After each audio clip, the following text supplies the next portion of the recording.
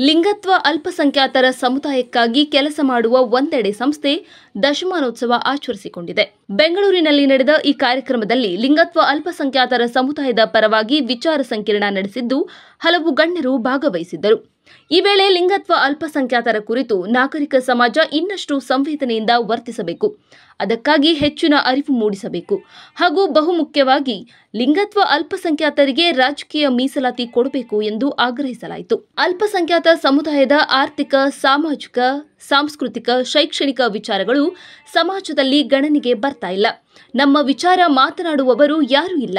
ಹಾಗಾಗಿ ರಾಜಕೀಯ ಪ್ರಾತಿನಿಧ್ಯ ಕೇಳುತ್ತಿದ್ದೇವೆ. ಪ್ರಧಾನಿ ಮೌನ ಮುರಿಯಬೇಕು ಎನ್ನುತ್ತಾರೆ ಲಿಂಗತ್ವ ಅಲ್ಪಸಂಖ್ಯಾತರ ಸಮುದಾಯದ ಮುಖಂಡರು ಹಾಗೂ ಕಾಂಗ್ರೆಸ್ ಮುಖಂಡರಾದ ಅಕ್ಕಯ್ಯ ಪದ್ಮಶಾಲಿ. ಎಲ್ಲರಿಗೂ ಗೊತ್ತಿದೆ, ಸಮುದಾಯದ ಆರ್ಥಿಕ, ಸಾಮಾಜಿಕ, ಶೈಕ್ಷಣಿಕ, ಪಾರಂಪರಿಕ, ಸಾಂಸ್ಕೃತಿಕ, ಸಾಂಪ್ರದಾಯಿಕ ವಿಚಾರಗಳು ಎಲ್ಲೂ ಕೂಡ ಗಣನೆಗೆ ಬರ್ತಾ ಇಲ್ಲ. ಸಂಸತ್ತಿನ ವಿಚಾರ, ಶಾಸಕಾಂಗದ ವಿಚಾರ, ಅಲ್ಲಿ ಅವ್ರು ಮಾತಾಡಬೇಕು, ಚರ್ಚೆ ಮಾಡಬೇಕು ಅಂತೆ. ಆದರೆ ನಮ್ಮ ವಿಚಾರಗಳನ್ನ ಮಾತಾಡಲಿಕ್ಕೆ ಯಾರಿದ್ದಾರೆ? ಇವತ್ತು ನಮ್ಮ ವಿಚಾರಗಳನ್ನು ನಾವೇ ಮಾತಾಡಲಿಕ್ಕಾಗಿ ಹಾ, ಇದು ಅನುಗುಣವಾಗಿ ಮಾತಾಡಲೇಬೇಕು ಅನ್ನೋ ಸಂಬಂಧಪಟ್ಟಂಗೆ ನಾವು ಇವತ್ತು ರಾಜಕೀಯ ಪ್ರಾತಿನಿಧ್ಯತೆಯ ಅವಶ್ಯಕತೆ ಕುರಿತು ಸಾಂವಿಧಾನಿಕ ನೈತಿಕತೆಯ ಆಧಾರದಲ್ಲಿ ಆ ನಿರ್ಣಯವನ್ನು ಮಾಡಲೇಬೇಕು ಅಂತ ಹೇಳಿ ಇವತ್ತಿನ ಕಾರ್ಯಕ್ರಮಕ್ಕೆ ಜಸ್ಟಿಸ್ ನಾಗಮೋಹನ್ ದಾಸ್ ಸಾಹೇಬರು, ಪ್ರೊಫೆಸರ್ ಪುರುಷೋತ್ತಮ್ ಬಿಳಿಮಲೆ ಸಾಹೇಬರು ಮತ್ತು ಪ್ರೊಫೆಸರ್ ಆಶಾದೇವಿ ಅವರು ಇಡೀ ಕಾರ್ಯಕ್ರಮವನ್ನು ತಮ್ಮ ಅಭಿಪ್ರಾಯಗಳನ್ನು, ಅನಿಸಿಕೆಗಳನ್ನು ಹೊರಹಾಕಿ ಇಡೀ ಸಮುದಾಯದ ಚಳುವಳಿಗೆ ಅವರು ಸಪೋರ್ಟನ್ನು ಮಾಡಿ ನಾವು ಮಾಡ್ತೀವಿ ಅಂತ ನಿಂತ್ಕೊಂಡಂಥ, ಕೊಟ್ಟಂಥ ಪಣಕ್ಕೆ ನಾವು ಆಭಾರಿಯಾಗಿದ್ದೇವೆ. ಹಾಗಾಗಿ ಈ ಸಂಸ್ಥೆ ಒಂದೆಡೆ ಸಂಸ್ಥೆಯು ತಮ್ಮ ದಶ ದಿಕ್ಕುಗಳ ವಿಜಯ ದುಂದುಬೆಯ ಪತಾಕೆಯನ್ನು ಹಾರಿಸೋದ್ರ ಜೊತೆಗೆ ಕ್ಯಾಂಪೇನ್ನ ನಾವು ಲಾಂಚ್ ಮಾಡಿದ್ವಿ. ಏನು ಆ ಒಂದು ಆಂದೋಲನವನ್ನು ನಾವು ಲಾಂಚ್ ಮಾಡಿದ್ದೀವಿ. ಆ ಲಾಂಚ್ ಮಾಡೋದ್ರ ಮೂಲಕ ಎಲ್ಲ ಪಕ್ಷಗಳ ನಾಯಕರಿಗೆ ನಾವು ಆ ಪತ್ರಗಳನ್ನು ರವಾನೆ ಮಾಡಿದ್ದೇವೆ. ಮುಖ್ಯಮಂತ್ರಿಗಳು ಸೇರಿದಂತೆ ಅಧ್ಯಕ್ಷ ಡಿ ಕೆ ಶಿವಕುಮಾರ್ ಸೇರಿದಂತೆ ಅನೇಕ ಎಲ್ಲ ಪಕ್ಷಗಳಿಗೆ ನಾವು ಅದನ್ನು ಕಳಿಸಿರುವಂಥದ್ದು ಇತ್ತೀಚೆಗೆ ಪ್ರಧಾನಮಂತ್ರಿಗಳಿಗೆ ಸುಪ್ರೀಂ ಕೋರ್ಟ್ ತೀರ್ಮಾನ ನಮ್ಮ ವಿರುದ್ಧವಾಗಿ ಬಂತಲ್ಲ. ವಿಶೇಷ ವಿವಾಹ ಕಾಯ್ದೆ ಅಡಿಯಲ್ಲಿ ಸಂಬಂಧಪಟ್ಟಂಗೆ ನಮ್ಮ ವಿರುದ್ಧ ಬಂದ ತೀರ್ಮಾನ, ತೀರ್ಮಾನವನ್ನು ಸರ್ವೋಚ್ಚ ನ್ಯಾಯಾಲಯವು ಸಾಂವಿಧಾನಿಕ ಪೀಠ ಸಂಸತ್ಗೆ ಬಿಟ್ಟ ವಿಚಾರ ಅಂತ ಹೇಳಿದ ಒಂದೇ ವಿಚಾರದಲ್ಲಿ ನಾವು ಭಾರತ ರಾಷ್ಟ್ರದ ಸರ್ವೋಚ್ಚ ನಾಯಕರಾಗಿರುವಂತಹ ಪ್ರಧಾನಮಂತ್ರಿಗಳಿಗೆ ಪತ್ರವನ್ನು ಬರೆದು ಹಾಕಿದ್ದೇವೆ. ಪ್ರಧಾನಮಂತ್ರಿಗಳು ಮೌನವನ್ನು ಮುರಿಯಬೇಕು ಮತ್ತು ಇದ್ರ ಬಗ್ಗೆ ಮಾತಾಡಬೇಕು. ರಾಜಕೀಯ ಸ್ಥಾನಮಾನಗಳು ಕೊಡಲೇಬೇಕು. ರಾಜಕೀಯ ಸ್ಥಾನಮಾನ ಅಂತಂದರೆ ಶಾಸನ ಸಭೆಗಳಲ್ಲಿ ಭಾಗವಾಗಿ ಅಲ್ಲಿ ಆಗುವಂಥ ನಿರ್ಣಯಗಳಲ್ಲಿ ಅಂಗೀಕಾರದಲ್ಲಿ ನಮ್ಮ ಸಮುದಾಯದ ಪಾತ್ರವು ಕೂಡ ಅತಿ ಮುಖ್ಯವಾಗಿರುತ್ತೆ ಅನ್ನೋದನ್ನು ನಾವು ಅವ್ರಿಗೆ ಮನವರಿಕೆ ಮಾಡಿಕೊಳ್ಳೋ ವಿಚಾರದಲ್ಲಿ ಹೌದು. ಅಸ್ತಿತ್ವದಲ್ಲಿ ನಾವು ಭಾಗ ಆಗೇ ಆಗಬೇಕಾಗ್ತದೆ. ರಾಜಕೀಯವಾಗಿ ನಾವು ಸಬಲೀಕರಣ ಆಗಲೇಬೇಕಾಗ್ತದೆ. ಶ್ರೀಮಂತರು ಶ್ರೀಮಂತರಾಗಿ ಇದ್ದಾರೆ, ಬಡವರು ಬಡವರಾಗೇ ಇದ್ದಾರೆ, ಮಾಧ್ಯಮದವರು ಮಾಧ್ಯಮದವರಾಗಿದ್ದಾರೆ.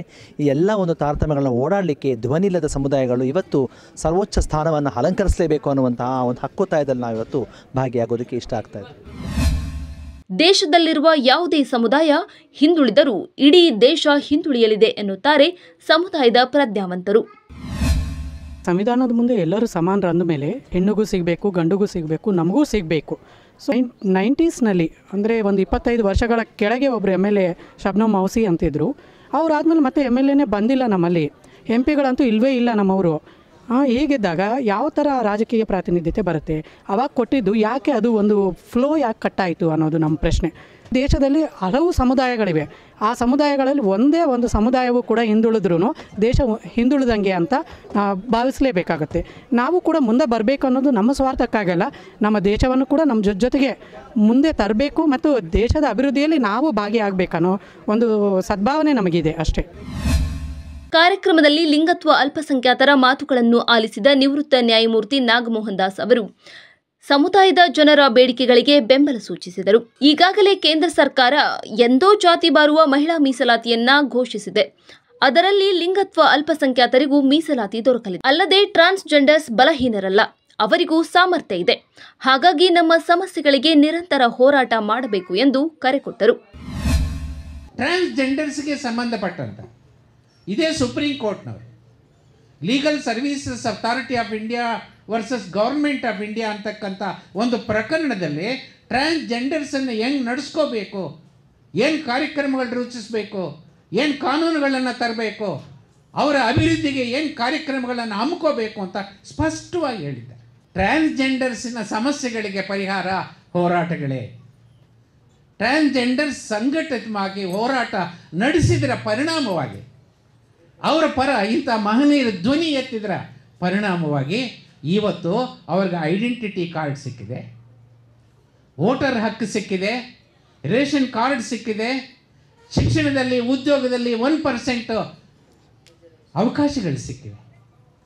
ಹಾಗಾಗಿ organised struggles is the only solution for your problems ಹಾಗಾಗಿ ಅದಕ್ಕೆ ರೆಡಿಮೇಡ್ ಸೊಲ್ಯೂಷನ್ ಇಲ್ಲ. ಇವತ್ತು ನೀವೊಂದು ಬೇಡಿಕೆಯನ್ನು ರಾಜಕೀಯ ಪ್ರಾತಿನಿಧ್ಯ ಬೇಕು ಅಂತಕ್ಕಂಥ ಧ್ವನಿ ಎತ್ತಿದೆ. ಈ ಧ್ವನಿ ಒಂದು ರೆಪ್ರೆಸೆಂಟೇಷನ್ ಆಗಿ ನಾಳೆ ಬರಲಿ. ರೆಪ್ರೆಸೆಂಟೇಷನ್ಗೆ ಕಿಮ್ಮತ್ ಸಿಗಲಿಲ್ಲ ಅಂತ ಒಂದು ಪ್ರೊಟೆಸ್ಟ್ ನಡೀಲಿ. ಪ್ರೊಟೆಸ್ಟ್ಗೂ ಕಿಮ್ಮತ್ ಸಿಗಿಲ್ಲ ಅಂದರೆ ಒಂದು ಲೀಗಲ್ ಬ್ಯಾಟಲ್ ಮಾಡೋಣ. ಸ್ನೇಹಿತರೆ, ಈಜು ಒಂದು ದಿವಸ ಕಲಿಯೋಕ್ಕಾಗಲ್ಲ. ಈಜ್ತಾ ಈಜ್ತಾ ಕಲಿಯಬೇಕಾಗುತ್ತೆ ಹೋರಾಟಗಳು ಅಂತ.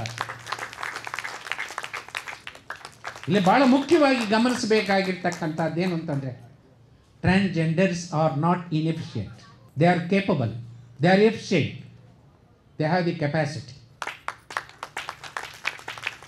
ನಾನು ಈ ಮಾತನ್ನು ಯಾಕೆ ಹೇಳ್ತಾ ಇದ್ದೀನಿ ಅಂದರೆ, ನಾನು ಈ ಪುಸ್ತಕ ಬರೆದಾಗ ಈ ಅಂಶ ನನಗೆ ಹೊಡೆದಿರಲಿಲ್ಲ ಅದೊಂದು ರೀತಿಯ ಸಹಾನುಭೂತಿ ಇತ್ತು ನನಗೆ ಅವ್ರ ಬಗ್ಗೆ. ಈ ಸಮಾಜ ಹಿಂಗೆ ನಡೆಸ್ಕೋಬಾರ್ದಾಗಿತ್ತು ಅವ್ರನ್ನ ಚೆನ್ನಾಗಿ ನಡೆಸ್ಕೋಬೇಕು ಅನ್ನೋದೇ ನನ್ನ, ನಿಮಗೆ ಘನತೆಯ ವಿಚಾರ ನನ್ನ ನನ್ನ ಮೈಂಡಲ್ಲಿ ಡಾಮಿನೇಟ್ ಆಗಿತ್ತು. ಇವತ್ತು ಘನತೆಯ ವಿಚಾರ ಅಲ್ಲ it is a matter of right ಅಂತಕ್ಕಂಥದ್ದು ನನ್ನ ಅದಕ್ಕೆ ಬಹಳ ಮುಖ್ಯವಾಗಿ ಮಂಜುಶ್ರೀ ಅಂತ ಒಬ್ಬ ಪತ್ರಕರ್ತೆ, ಈ ಕಾರ್ಯಕ್ರಮದ ಪ್ರಾರಂಭದಲ್ಲಿ ಆಕೆ ಇಲ್ಲಿದ್ದು ಇಲ್ಲಿದ್ದಾರೋ ಇಲ್ವೋ ಗೊತ್ತಿಲ್ಲ ನನಗೆ.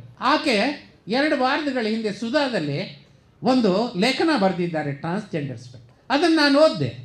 ಅದನ್ನು ಓದಿದಾಗ ನನಗೆ ಆಟೋ ರಿಕ್ಷಾ ಓಡಿಸ್ಕೊಂಡು, ಟೀ ಅಂಗಡಿ ಇಟ್ಕೊಂಡು, ಬಟ್ಟೆ ವ್ಯಾಪಾರ ಮಾಡಿಕೊಂಡು, ಗುಮಸ್ತಾ ವ್ಯಾಪಾರ ಮಾಡಿಕೊಂಡು, ಒಂದು ಓಲ್ಡ್ ಏಜ್ ಎಮ್ನಲ್ಲಿ ಸರ್ವಿಸ್ ಮಾಡಿಕೊಂಡು ಘನತೆಯ ಬದುಕನ್ನು ಸಾಧಿಸ್ತಾ ಇದ್ದಾರೆ they are not begging in the street they are not sex workers they don't have the desire to do that ಆ ಮನಸ್ಸೇ ಇಲ್ಲ.